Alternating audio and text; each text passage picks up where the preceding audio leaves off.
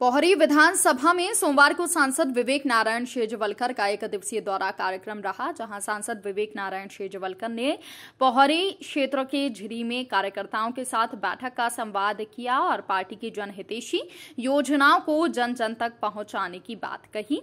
इस दौरान दर्जा प्राप्त राज्य मंत्री प्रहलाद भारती, भाजपा मंडल अध्यक्ष आशुतोष जामिनी प्रदेश कार्य समिति सदस्य विवेक पालीवाल, शैलेंद्र शर्मा के साथ अन्य भाजपा पदाधिकारी व कार्यकर्ता सम्मिलित हुए।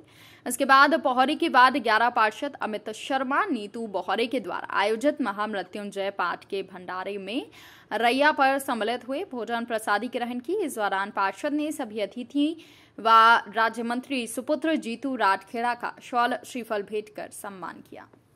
भाई साहब, आज आप विधानसभा पौरी क्षेत्र के दौरे पे हो। कई जगह कार्यक्रम का आयोजन हुआ कार्यकर्ताओं की बैठक भी हुई है।